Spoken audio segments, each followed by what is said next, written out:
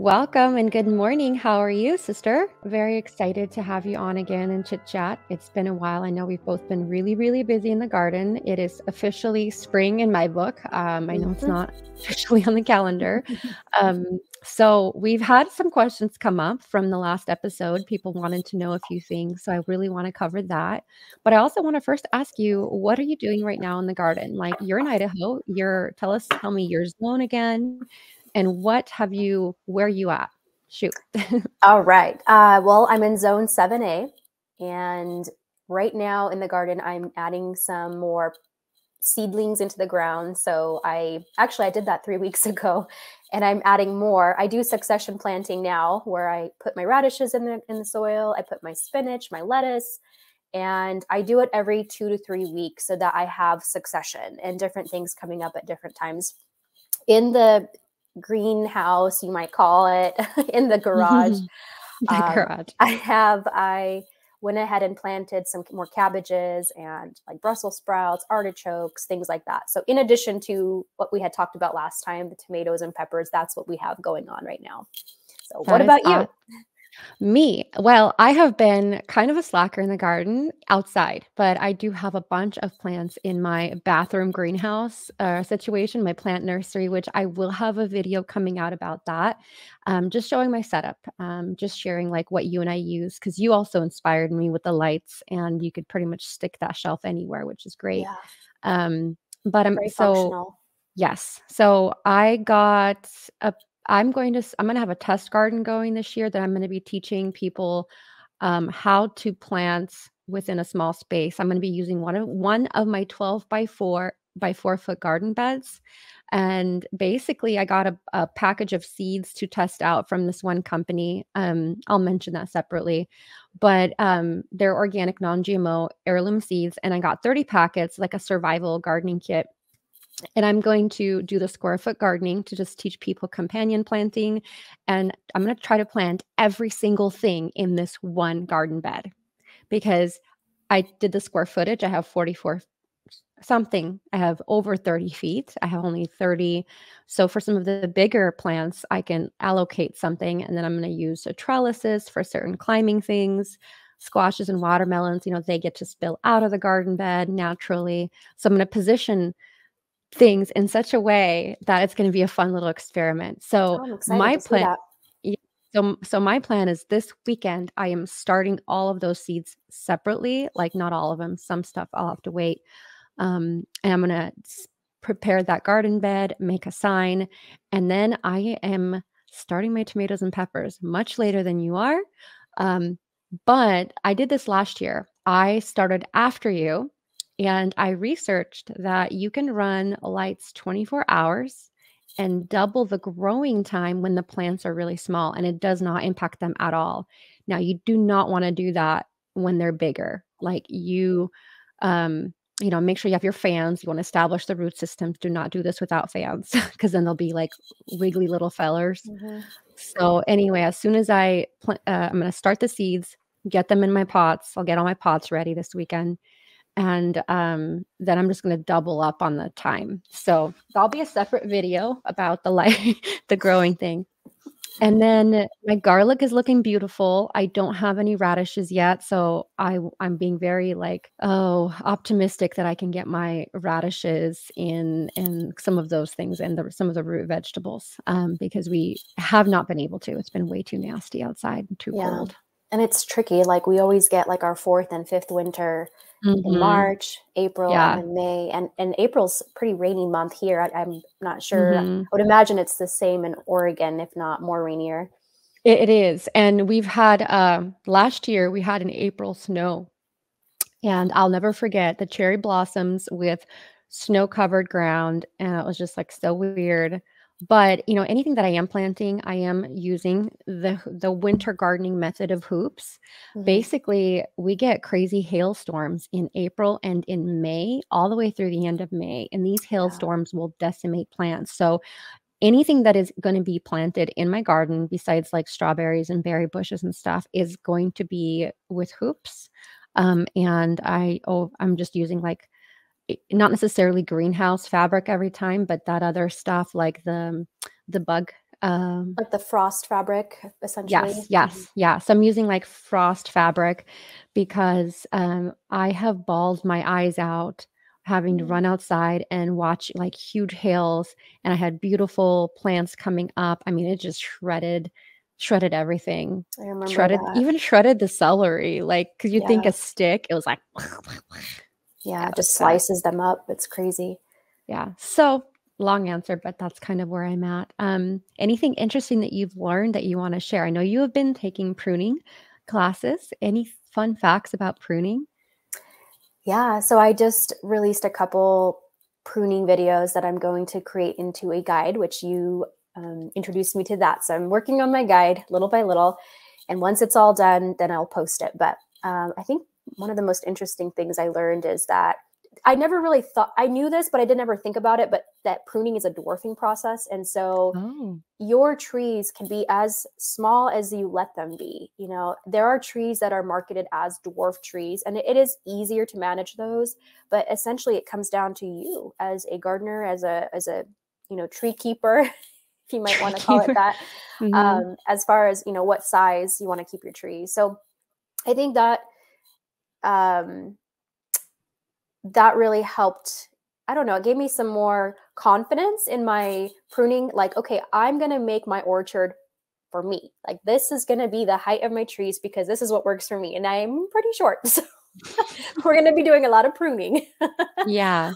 Um, and then I think the other things that I learned was, um, you know, back in the day, we used to put black tar anywhere we made our big major cuts. And so one of the takeaways was don't do that because you're actually trapping bacteria, you're trapping moisture, and and you know you don't want to cut just flush to the tree because that just creates a portal for germ bacteria to enter. Mm-hmm.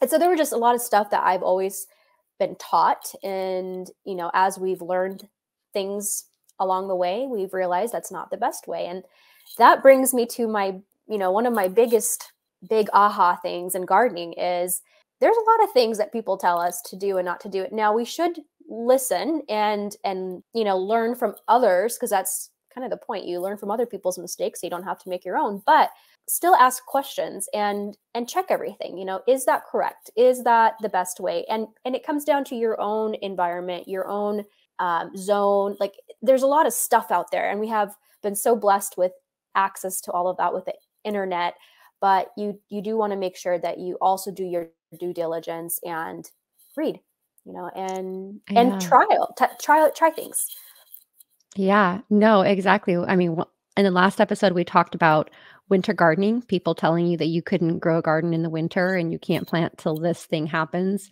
um you know i've recently done this where um so i was making a video about sprouts you know growing sprouts because that is one thing that every person can do even if you are in an apartment and I know you're a big fan of sprouts and their nutritional content, especially like broccoli and stuff. And it, the the the the common instructions are you have to do it, put it in a jar or if or a tray and put it in a dark place. I have never put it in a dark place. I just stick it out by my window and they grow just as fine. And I they I don't know. They'll help germination. They germinate within hours. I think we just so, complicate things way more than we is. have to sometimes, and I think it yeah. it does it holds people back, um, and that's why you, you gather information and then you do things that fit your lifestyle. And mm-hmm. it's Test. better to do it than not do it at all. And if you fail, just try again and do it different. It's it's not yeah. a big deal.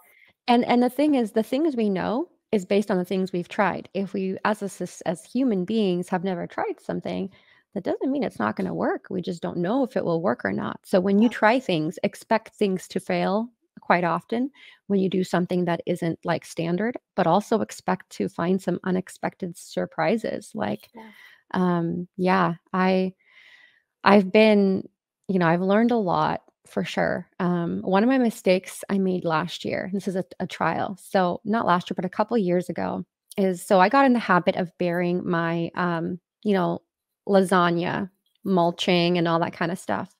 It works amazing for building your soil. Like I have amazing soil now, but I've learned that I need to bury it under the ground and have the right ratio of carbon to to uh, nitrogen, so green stuff and brown stuff. and then it like disappears within a month because I have so many worms in the bed. But the mistake I made is I at one point would just like scatter it on top and then throw some straw over it and then throw some other straw and kind of compost in place during the off season. Mm-hmm. It works amazing. It breaks down but it does allow it makes it easier for surface bugs to live there. And so when it's time to grow things you end up with a slug problem. Then what ha- eh, your soil is amazing. Your plants are just like monstrous like jack and the beanstalk. But the, the the slugs love it. And so every year i am like hunting down slugs with a headlamp and beer things and traps and using mm-hmm. sluggo around the garden beds so they can't like sneak up into it mm-hmm. or to pull them out because I want the slugs to leave. Um, so I've learned of which is a tip if you don't want to put sluggo, which is technically OMRI approved, but it does contain a lot of iron in it. Mm-hmm. If you don't want to be adding that to your garden bed, um, put it around your garden bed on the edges, the slugs will like leave and go snack on that stuff and die.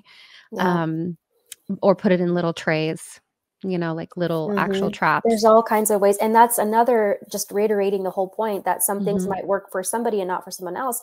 In our area, like in this, at least this area here in the valley, we have very uh, alkaline soil and also very low in iron. And in fact, a lot of areas we have lots of farming and um, irrigation, and so with the water, a lot of the iron is trapped. Mm. And and so Sluggo works great here because our iron yeah, is low uh, or it's trapped. But for yeah. someone you know living in a different area of the valley or in another state, that may be an issue. So yeah, yeah, I, I think about that. Yeah, you have to think about that. And then, you know, maybe a little bit of Sluggo would be fine.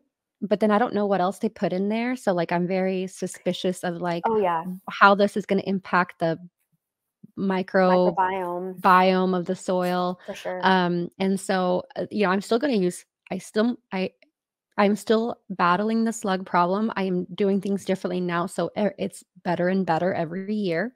Um you know, I'm burying things. I'm I'm composting differently. Like I'm still doing it in the garden beds, but I'm just being a little bit uh, strategic about it. And then when it comes to um, the sluggo, like just having little uh, like old lids and just sprinkling some in there and just placing it, and they just come to. It's like putting beer in there. It makes That's great traps. Way. Yeah, for people that, but for some people it might be fine. I just the soil is a living thing. I have a lot more respect mm-hmm. for my mm-hmm. dirt now. I'm like, the more natural things you use, the, yeah. the better. It, it, just always is that way. Um, I, I did want to ask. Oh, oh go ahead.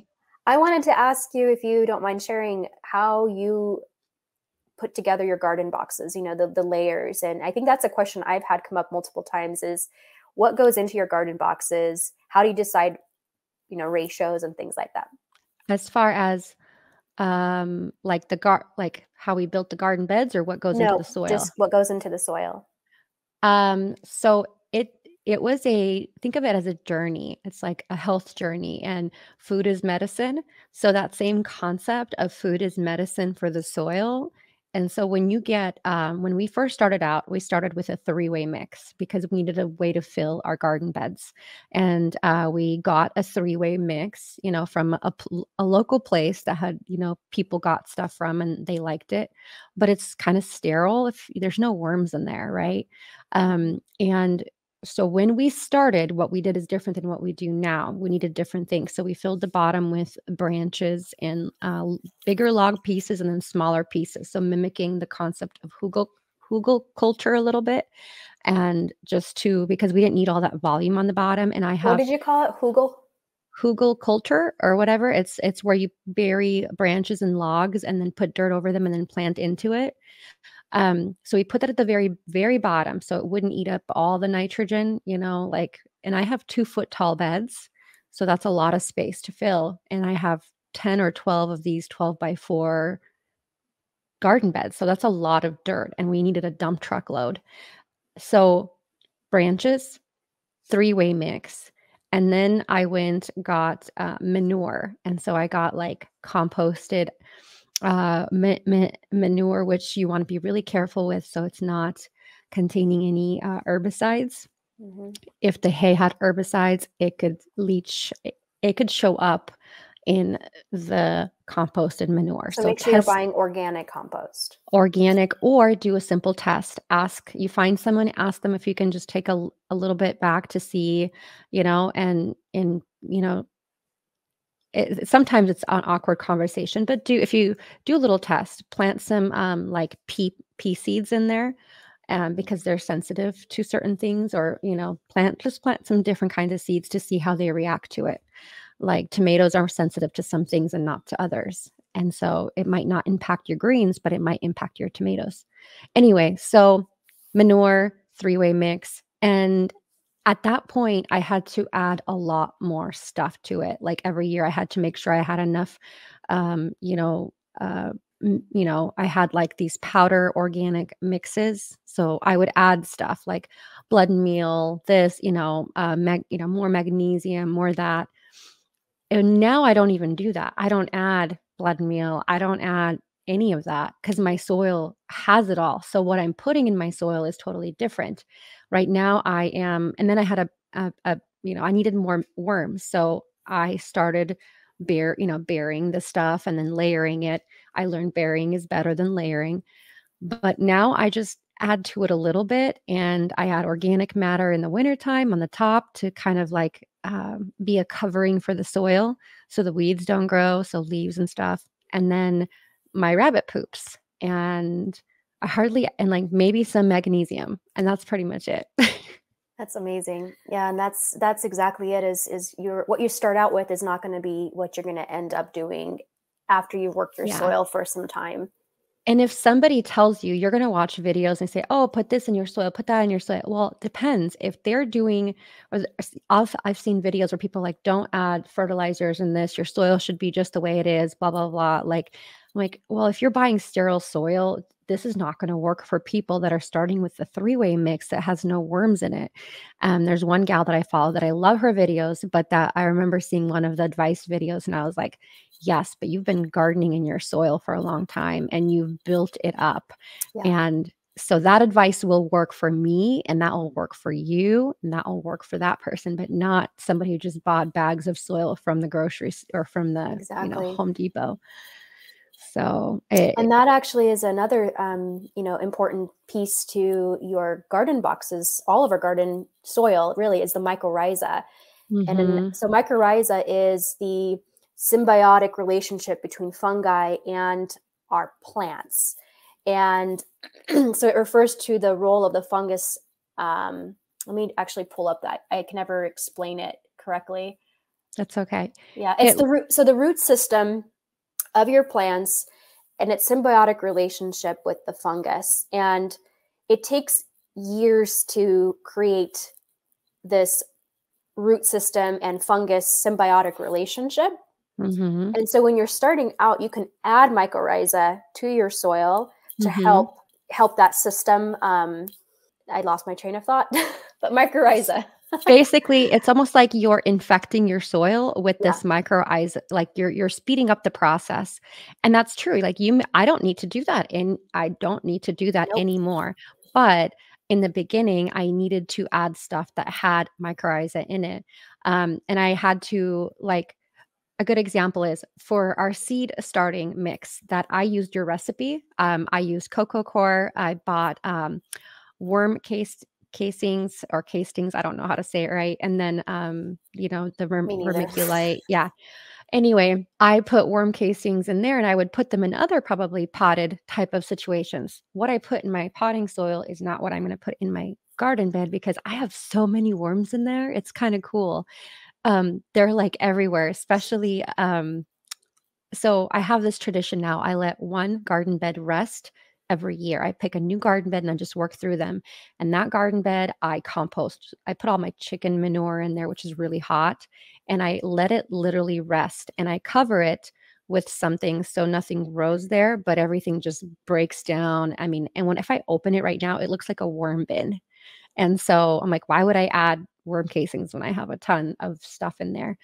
Um, but yeah, the and oh, and, an interesting thing with mycorrhiza is um, so when if you uh, if you uh, plant peas and beans, they actually have a unique relationship with how they create nitrogen, and mm-hmm. you know that it so for anybody watching, if you have peas growing in your garden, pull up one of the roots or when you're transplanting them if you start them somewhere and look on the roots they're like these little nodules and and they basically take nitrogen and make it usable. That's the simplest way of explaining it. And it has to do with the little bacteria and fungi or whatever, the living organisms. The beneficial the microorganisms. Yes, yes, the happy things. And I just think it's so cool that, you know, it it does that. And actually, if you want a really cool cover crop, do uh, field peas. Um, you plant them around now. You can order them and they look so beautiful. They bloom. The bees love them. And then what you do is you just like hack them down and just flatten them and then you they kind of dry up in the sun in the month of May and then you plant your tomatoes and peppers like and that's a very strategic way to create a fungal mm-hmm. network to support your yeah. other plants that you're going to be planting in that same space. And so that's also part of the, and this is kind of a controversial topic, but yeah, no dig, you know, no digging uh, mm-hmm. uh, gardening approach has to do with the fact that every time you dig, you're actually um, you're breaking up that you're damaging that mycorrhizal fungal network.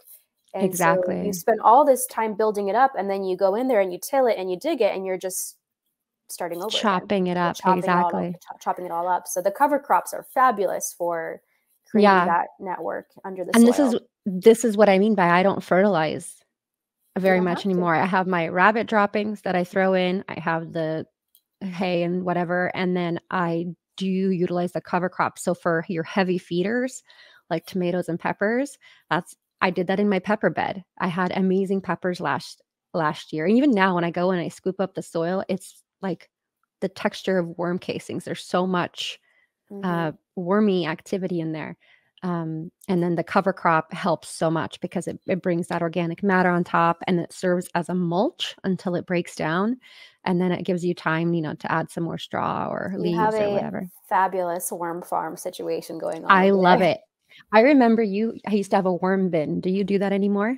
No, we we are in the same boat where the garden beds are just full of worms now where I'm like I don't really need to baby a worm bin anymore because I, I had to put hay mm. around it to keep the worms from freezing. And I was like, I want things to be as natural as I possibly can. Yeah. Now, it was important for me to do that then when I did not have that much worms in my garden beds. But again, what you start with is not what you end up with. And we don't need exactly. to do that anymore. And that advice, and I've learned that. And it's um, almost like that if if you're a new gardener, like this is the one takeaway. Make sure that when you're seeking out advice, the advice is for beginners starting to build something from scratch. And it specifically addresses yes. the fact that this advice is different. You will not need to do this later.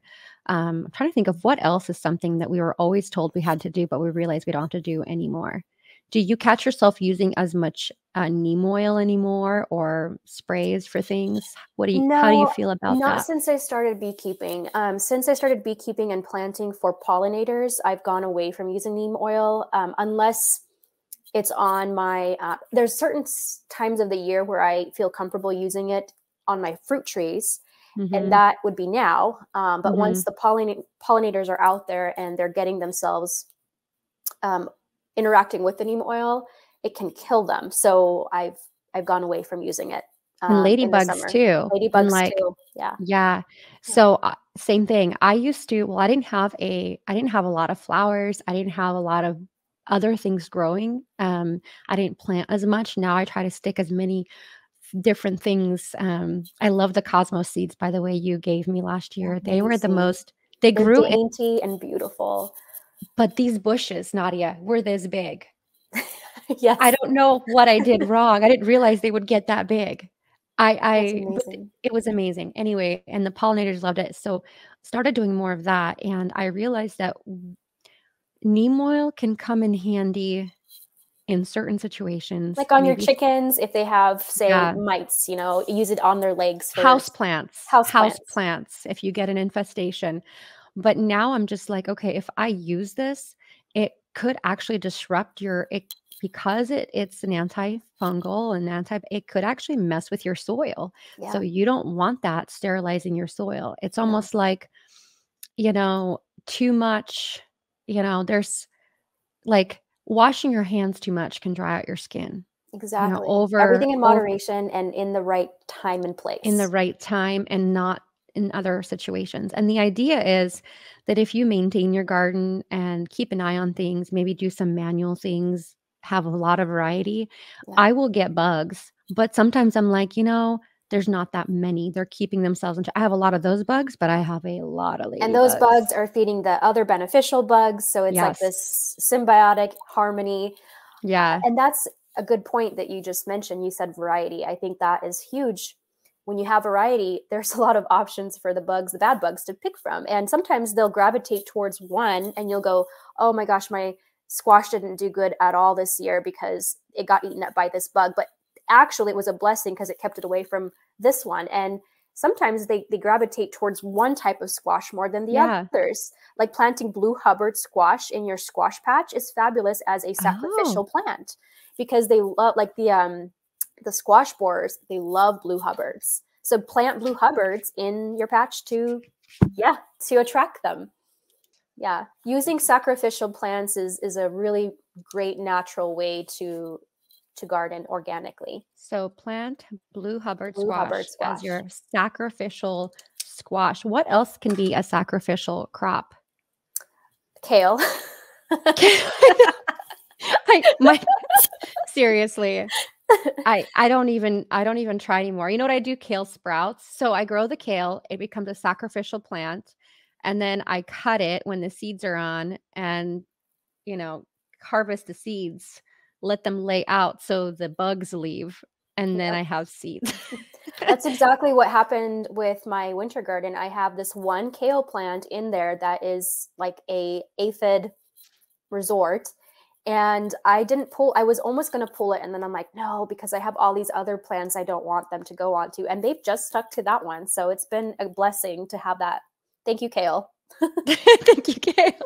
Yeah, yeah, kale. I'm trying to think of what I had. Um, yeah, uh, you know, I get stuff on dill. My they like my dill, Yeah. and The little so white flies or the, yeah, the aphids or they're both. they're kind of a tiny little bug, and and it, it was right next to my sacrificial kale, technically, if I think about it. But um, yeah, I and I love dill. So what I'm gonna just start doing, I had good dill, my dill in my strawberry ash. patch. Oh, ash! I'll have to try Sprinkle that. ash. I mean, it does change the soil as long as you're Mm. okay with it. Um, the ash was Ash fabulous. Another fact. So certain things that are good for something can change your soil, but it could be a good thing. And I actually will Mhm. ash would be good for my soil. So you can be Um, strategic and plant other things that do better with ash, like potatoes. yeah, They do great with ash. it's a good idea. I don't know if dill and potatoes are companion plants, though. But Yeah. anyways, food for I had uh, so uh, uh that brings me to plant variety and plant in different places Yeah. because I have had dill in my strawberry patch do amazing, that it just grew by itself. And then I had dill in my dill area that just got devoured. And then any dill that just sprouted by itself in between like the rosemary and the thyme, that one was fine. It wasn't touched. I think it was the smells. And it just got hmm hidden. The bugs couldn't find it. Of companion planting, like even that I have tested. Um, like not I know some things supposedly work well together, but I have planted some things, maybe it depends on how close they are. That Mhm. might, you know, too close might not be good because they impact, you know, the what they need for nutrients. But like, you know, that definitely might have something to, to do with it. I'm having a, a, a brain fart. I've had such bad brain fart farts. I mean, brain fog brain fog. Is it just because uh, the change in the time? How has that impacted your No, I got circadian sick. rhythm? You know, I work in peds, and so I get sick Mm, all the time. But like for very short spurts, I get sick, and then. I'm better the next day. But every single time, I'm like, gosh, my brain just gets foggier. So I need to eat more broccoli sprouts. Oh, really? I did not know broccoli sprouts helped the brain. It. It, it contains sulforaphane, which is important for your transsulfuration pathways for Ah. detox. So eating broccoli sprouts. Wow, I have been craving broccoli, and we talked about various detox. You know, I'm going through some dental things and x-rays and this and that. Um, and I've just been craving them, and they're just so good. I like threw them on a bite of pizza, like fresh sprouts on anything. And fun fact for anybody watching, I could be wrong, but like two cups of sprouts or one cup of sprouts is the same as 50 cups of broccoli as far as the nutritional Yes. content. Like, and they're so easy to make. And also, correct me if I'm wrong, it doesn't it say if you uh, bl- blanch them or if you freeze them, it increases the sulfur. The, The the yeah, like I'll have to But I do know, I mean, there's supplement companies out there that are encapsulating broccoli sprouts for people that can't make them or they're expensive. They are expensive to buy. So you could buy them, but if you can grow them, that's always oh natural is always the best. all you need is a mason jar and a lid, and if you can get one of those little screen things, great. But you know you can do it with You can even lid. get one of those, you know, trays Well, you can take grow. Yeah, you can put it in a tray, put it in a casserole dish if if you needed to, and Yeah. throw some, you know, whatever.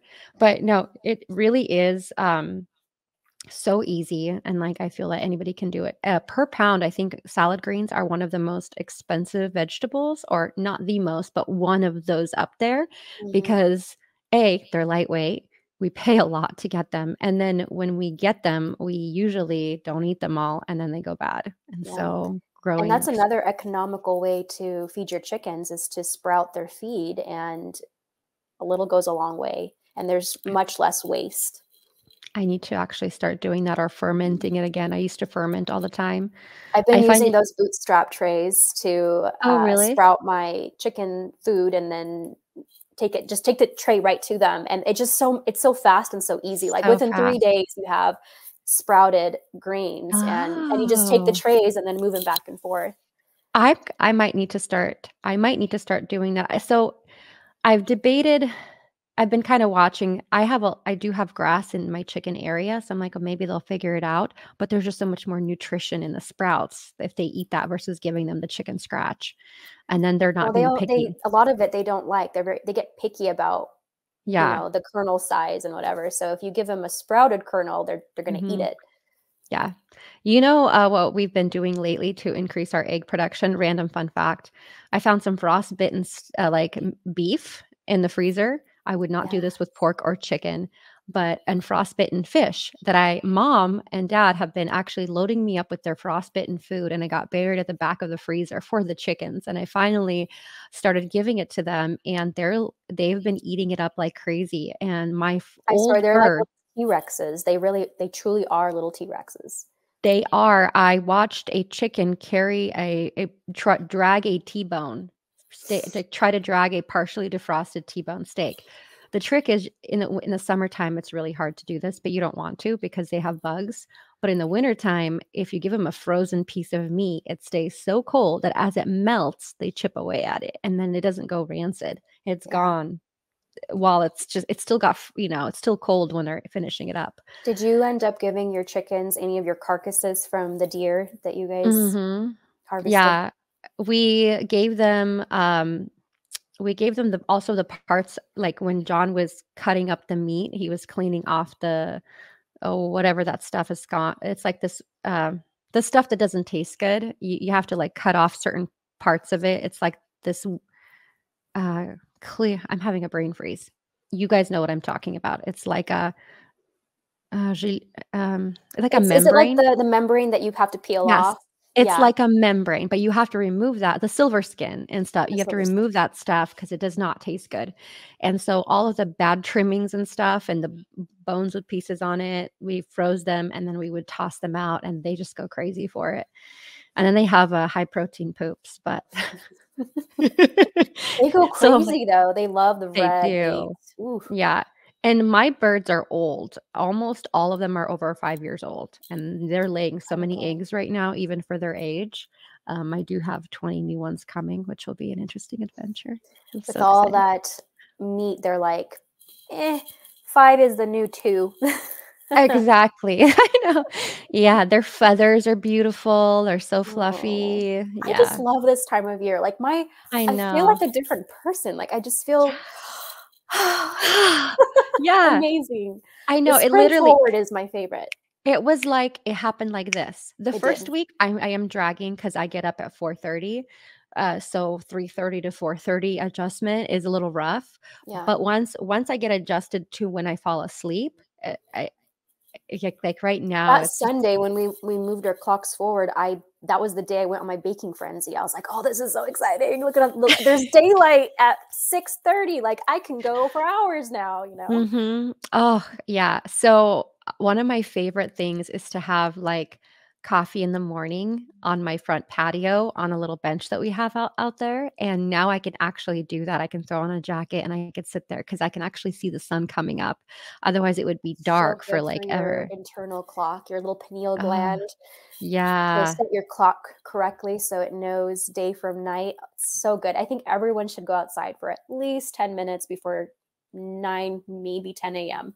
Just, just for that reason just for that reason a hundred percent and it just just sit there for a minute and think and you know be grateful and you know set your mind on the correct things before you start your day and it just kind of sets you up for success. I mean if you um it's so easy and i'm so guilty of it to look at my email first thing in the morning but i've been trying not to as much as possible and i do it like afterwards yeah. but so, one of the questions that we got, and I don't want to forget this, was people wanted to know when to plant things so they could have a winter garden, so they can do succession planting. Like, um, I'm going to share a little tool that I use um, really quickly first, but it's called the Clyde's uh, Garden Planner or something like that. It's like $9 on Amazon. It used to be seven. It's the cheapest little thing you'll get.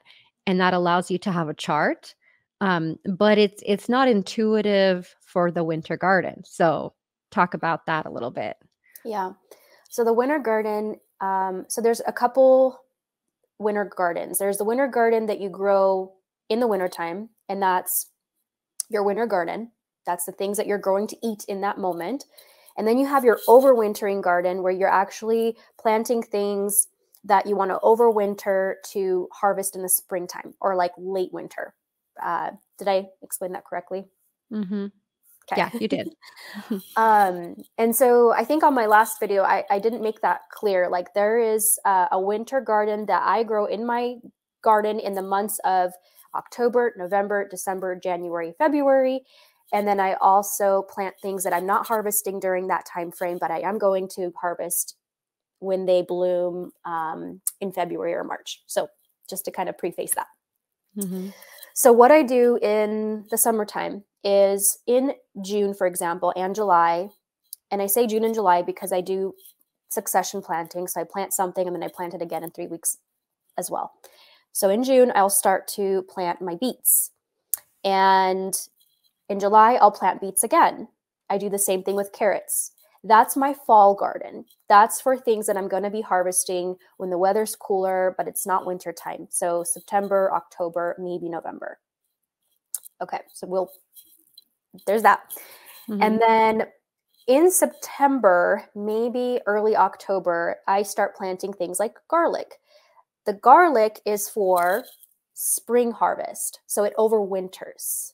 Okay. Also, in that time, I start putting my seeds into the soil for things that I want to bloom in the spring. So, for example, I will plant cabbage, broccoli, um, radishes, turnips, carrots, and then they're going to very, very slowly grow, very, very slowly. They're not going to be ready for me to do anything with till like late February or March or even April. Wow. Sometimes. So you plant them. I in... put the seeds in the ground. And wow. then very slowly they start to grow. And then when the weather warms up, they they bloom and I harvest them in the spring. Also in September and October, let me backtrack a little bit. June and July is a very busy month. Mm-hmm. In June and July, I also start seedlings, things like uh, cabbage, broccoli, uh, Brussels sprouts, cauliflower, uh, some of my Asian greens, spinach, kale, lots of cool weather crops. I start in June and July to create transplants. And then those transplants I put into my garden in September and October that's to have my winter garden. Does that make mm. sense? Yeah. So that's what I'm going to eat in the months of November, December, January, maybe February. I hope that's clear. So you're doing yeah. a little bit of both. You're doing some overwintering for mm-hmm. harvesting in the spring, And then you're also planting things that you can eat during the wintertime. In September and October, I'm also putting radishes. And the cool thing about radishes is they are a fabulous food to eat in the wintertime. If you plant it in September and October, you're going to have radishes that are ready to eat in December and January. Oh, wow. Yeah. And then, and it's great because you can eat the greens. So you can add them to your soups, your salads, and then you're also getting to eat the actual radish itself. And they are the best tasting radishes. I kid you not. They're the best in the wintertime. They're sweeter in the wintertime so because, and there's no bug pressure. There's no bug pressure on any of those greens either. And then you'll notice that, you know, in February, the radishes that maybe you planted in September, October, that for whatever reason didn't take off till January, February, those start to taste a little bit funky. Um, those I go ahead and pluck and take to the chickens. And that's when I start seeding more radishes. It becomes this like cycle. Succession mm. planting is literally, I think of it like my sourdough. it's like you get into a rhythm. You're feeding yeah. things. You're like doing, and it, you do it in such a way that it works symbiotically. And in the beginning, it's hard because you really have to think about it and you have to time things a certain way. But then you start just routine. You're like, yeah. okay, boom, boom, boom, boom. So I hope that's clear. Yeah, and also doing su- succession planting f- kind of follows the the concept of like some things you plant after other things because it prepares the soil or it adds something to it. You know, you exactly. um, you know, like crop rotating, so that supports that concept. And if you don't think of it as a this is the garden time but the garden time is all year round and you're just planting things at different things like seeds are smart they're god designed them in such a way where they know they just they just know when it's time to grow and if if you know that's how we get volunteers when you have a plant that goes to seed and, and bolts if even if it is a radish or a carrot. I've had volunteer carrots come up which is kind of exciting. I'm like i did not plant you but thank you for coming. And they were in the ground and then they grew when it was time. And so i think that's you know those are the cool. only uninvited guests that i love. In the garden is volunteer carrots. Oh last kind of question and then you know to kind of wrap this up i struggle growing carrots actually so since we're on the topic of carrots yes. that's why um the seeds are so small it's really hard to seed them i have looked at carrot tape but i don't want to put anything with chemicals so i was going to try making my own kind of carrot tape with like cornstarch and you know maybe get some organic paper towels or something and create strips and then put it on there but what are your suggestions for planting carrots? Like again, your... I think carrots are just one of those things that we've overcomplicated. Mm-hmm. If you want perfect, thick, deep, you know, fat carrots, sure, you need to space them apart, and that's where it gets tricky because the seeds are so small. Um, and they're also very, very vulnerable because when you plant your carrot seeds, you're supposed to put them pretty much on the top of the soil. And then they're vulnerable because you know, if there's too much sun, they're going to burn. If you have birds, they're going to eat the seeds. So for me personally, the best thing was to not fuss about spacing and be okay with some small carrots because guess what? You're going to have some small ones and you're going to have some big ones. As long mm-hmm. as you mm-hmm. plant a lot. yeah. You're going to get a little bit of both. Um, so I sprinkle them on top of my soil and then I, I throw on some uh, vermiculite on top. And uh, you might have to find something else because vermiculite is there's there's been a shortage of it. I don't know if that's changed now, but there was a month ago. Mm-hmm. So I put my vermiculite on top, or just take some really fine soil and just dust it over the carrots. I water it really good, like really good. And then I take a piece of plywood and I put mm-hmm. that on top. And I'm not going to have to water those carrots again because I've got my plywood over it. You don't need sunshine to germinate your carrot seeds, but you do need to protect them. And you also want to retain the moisture so that they can germinate. And then mm-hmm. in a week or two, you peek under there, and they do take a while to germinate. And you see those little green seedlings emerge. You can take your plywood off um, at that point, and you may have to put some protection over them if you've got bird bird problems. Are birds ever a problem? Yes, they are. No, Except um, for hummingbirds. Hummingbirds are like the perfect bird. Birds are the perfect bird. Yeah. So that's how I do my carrots. I don't fuss okay. over spacing. I pl- plant extra. That is one of the ones I do plant extra of because you're going to get small ones, big ones, but Mhm. Yeah. And sin and since I have rabbits, technically, I could use that opportunity to if I do choose to thin my carrots, they love the baby rabbit greens, they love the little carrot, so Yeah. they'll get a nice ratio of greens to sweetness because the Yeah. greens are better for them than the actual carrot itself. The carrot the itself best way to thin them is just throw them in there and then Yeah. pluck out the extras and take them to your animals if you have have 'em. animals. I'm going to do that. I'm gonna try that. I'm gonna try that this year because I love carrots. I think they're so tasty, um, and so maybe I will do that this weekend because I think I can do it now. Now's Yeah. a good time. Yeah. And if a good fluffy, rich soil is the best so that they Mhm. don't have funny shapes, um, Mhm. so And then yep. the the nice thing is the carrots will be done before you have to go plant, so you could plant something else in that garden bed afterwards if all you do right now is carrots. Yeah. So, I'll probably do that. Well, I am so grateful for your wisdom and advice, and I learned several things. Um, first of all, thank you. Um, I'm gonna link Nadia's links down below. Follow her as Pearls and Shoots on Instagram, and she's also a fancy smarty pants, so I will link her medical page if you are a mom and have young little kiddos or you just want to learn about, you know, functional medicine and health. It it is advice that is applicable to adults as well, and I'm very excited for the time we got to spend, and I'm excited for the next episode.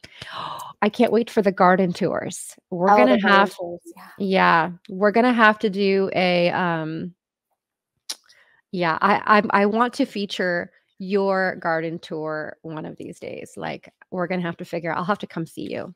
And I'll have have to to come see you, and then I will tour your garden, and we should do that. We should tour each other's gardens. Let's okay. Ah, this is the trip. So Okay. exciting. So excited. Alright, well, I love you. Have a wonderful rest of your day. Love you too. Bye. Bye.